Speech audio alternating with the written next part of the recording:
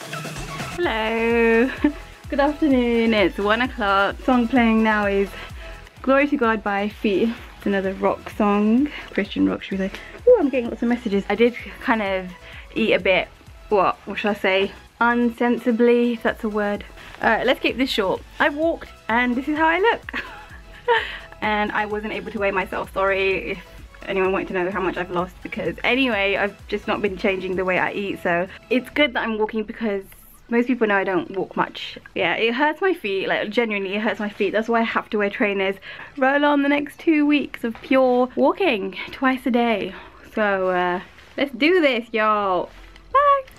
Hi guys, I went swimming today. Um, it was mostly a aquafit session, which I never thought I would ever go to because I personally I thought it would be quite embarrassing and doing these weird moves and stuff but I could feel it working my arms, my thighs, my legs and if you do a workout that you can feel is doing something. That was to replace the fact that I didn't do my what two mile walk. I think tomorrow my body is going to pay for it like my muscles because after swimming it's always quite bad but like I said I didn't actually swim.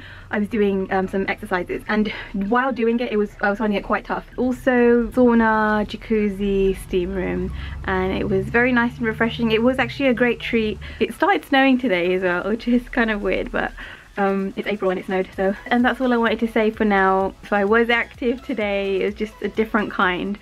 On to the next day. Bye! Hey guys.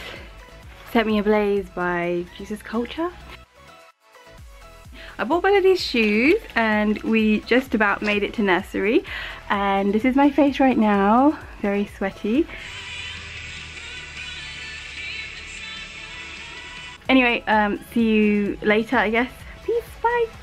Hey guys, I can explain wetness from rain and not sweat. then it started hailing and I'm only wearing a thin raincoat. I don't know if a raincoat does anything. I saw an old man who was on the floor and during this weather, it's not normal, uh, he was out of it. So I kind of thought, does he need an ambulance? But then there was uh, um, an Englishman who got out of his kind of truck thing and people started beeping behind him like why have you stopped? Anyway he got out to help this man up because um you know someone's falling down you help him up. Not like I did in my Liverpool vlog because uh, he was a bit too far away. He helped him up on the side and then I just like I helped the man on the other side just just to pull him up so he could stand. The Englishman said he was drunk and then I kind of I felt less sorry for him but still I like when I walked away from him I was like oh man what do, what do I do? Like genuinely I'm not I'm not just saying this I felt bad for him. I know there's plenty maybe thousands of hundreds of thousands of people like him but fortunately there was someone to help him up. I didn't help that much. So anyway I walked back um